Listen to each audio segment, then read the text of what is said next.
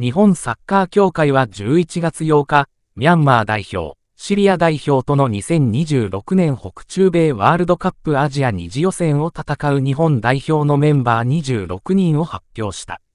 フォト、ついに始まる W 杯アジア二次予選、ミャンマーシリア戦に挑む日本代表招集メンバー26人を一挙紹介。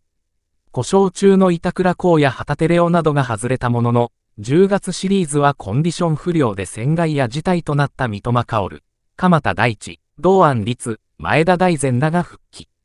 22人が海外組という構成になった。森保ジャパンのメンバー発表は、同じアジアの中国でも話題に。中国メディア、直幅、などが掲載した記事のコメント欄には、次のような声が上がっている。